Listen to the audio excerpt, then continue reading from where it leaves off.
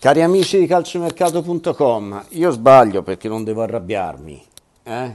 ma vi rendete conto che la Juventus eh, a Udine sembrava un'altra squadra, parliamo di questo, dai, perché le indicazioni che arrivano da prima di campionato sono tante, le delusioni sono le due romane, inutile girarci attorno, una sorpresa positivissima che è non, di cui nessuno ha parlato, è la uh, Fiorentina.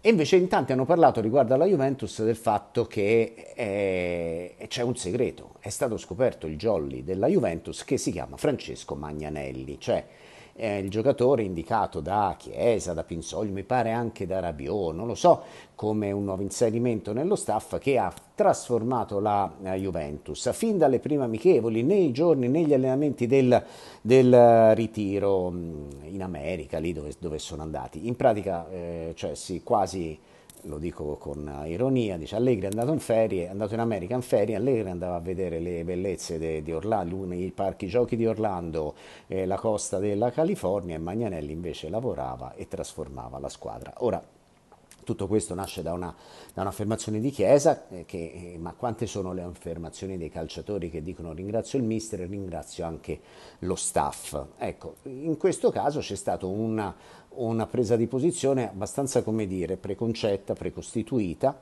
eh, da parte di tutti quelli che sul web si sono arricchiti e con... Il famoso hashtag Allegri out. Ecco, in questo caso io credo che ehm, è chiaro che il web per, per, tanti è anche una fonte di guadagno e se, fai il guadagno, se guadagni in quel modo va bene, però da parte del, di chi invece fa un, una opinione un pochino più, come dire, corposa, costruita e consapevole, mi è sembrata un po', cioè sembra, mi è sembrata di vedere un po' di pigrizia, ecco, in questo eh, tutto merito di Magnanelli, oppure è importante Magnanelli. Magnanelli esegue le linee guida del, dell'allenatore, dice ma allora perché non dava le stesse linee guida l'anno scorso l'allenatore? Questa è una bella domanda, questa è una domanda che ci sta, è evidente che Allegri nei due anni del, del bis ha, eh, non ha rispettato le aspettative che forse erano un po' troppo elevate, ma comunque che poteva far meglio, altrettanto evidente che nei cinque anni precedenti non aveva comunicato bene uh, l'importanza e il valore delle vittorie degli scudetti. Ma restando in quei due anni bis ci sono tante spiegazioni che riconducono però, prima che al gioco, al pressing, all'atteggiamento, alla mentalità, innanzitutto ai giocatori. Questo è fondamentale, ogni allenatore va comunque considerato in proporzione al valore degli, dei giocatori.